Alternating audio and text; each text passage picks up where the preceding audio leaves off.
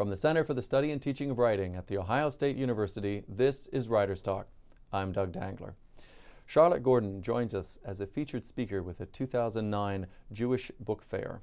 She has published two books of poetry and a biography of the 17th century poet Anne Bradstreet, which won a New England Book Award for nonfiction. Charlotte received an undergraduate degree in English and American literature from Harvard University and a PhD from Boston University.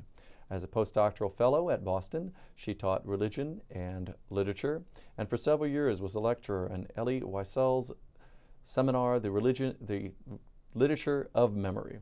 Since 1986, Charlotte has taught creative writing, history, literature, religion, and theater at both college and secondary school levels. Her latest book, The Woman Who Named God, Abraham's Dilemma and the Birth of Three Faiths, it retells the famous biblical story of Abraham, Sarah, and Hagar. Welcome, Charlotte Gordon. And that is a long introduction Very for you today. yes. Uh, and uh, I am very much looking forward to talking to you about this book, which you have right here.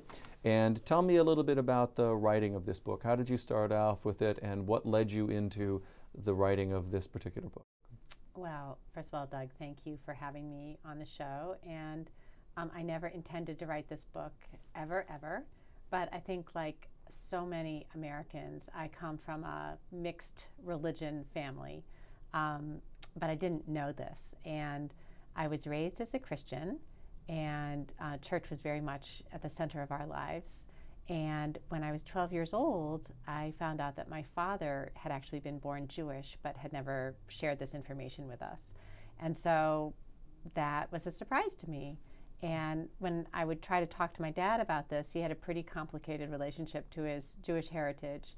And that set me out on a kind of journey to find out more about Jewish history, Jewish literature, and Jewish religion. And I certainly didn't think that I was going to fall in love with the Jewish religion but I did. And um, along the way, really became a student, I suppose, of the Bible, of Hebrew, of Aramaic, and um, fell in love with this one particular story in Genesis, which is the story of Abraham and Sarah and Hagar. And the story is, I'm sure most, well, I don't know actually how many people are still familiar with this story, but Abraham is divided by his love for two different women his first wife, Sarah, and his second wife or concubine, Hagar. And it's out of this division that we get um, the really the story of the origins of all three monotheistic religions. So, Sarah, his first wife, is the traditional mother of Isaac, who's the grandfather of the Jewish people, according to the Bible.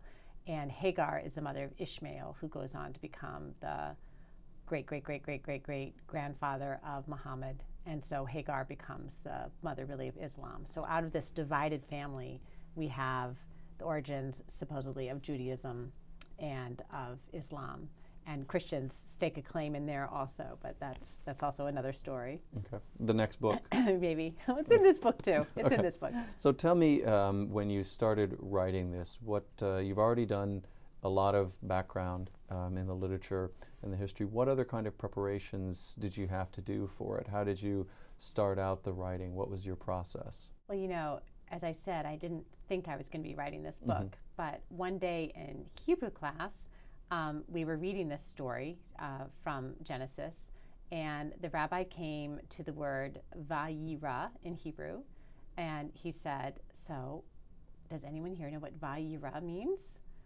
And nobody was very sure what vayira meant, but um, it means, he says, divided, paralyzed, and in despair. Abraham was Vayira. He was paralyzed, depressed, and in despair.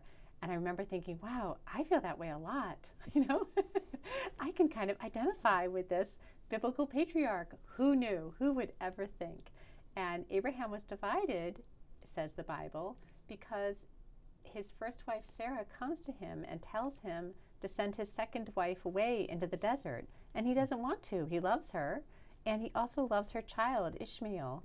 But so he is Vayira, but God says, listen, you've got to do what your first wife says.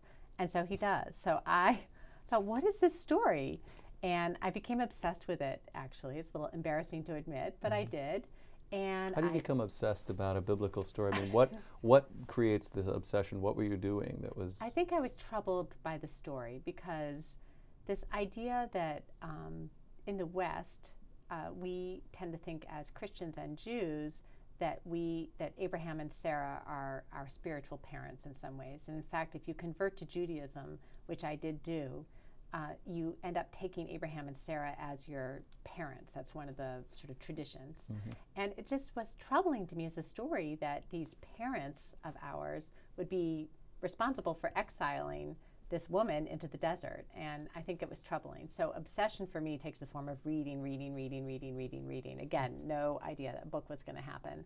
Um, but I think that in 2003, I heard the war in Iraq described as a battle between the sons of Sarah and the sons of Hagar. And that's when I realized that my personal obsession really had to go into the world because I felt like if I could figure out how to tell this story um, with more compassion and more sophistication and intelligence, you know, now this is going to sound so naive, but this is the hope.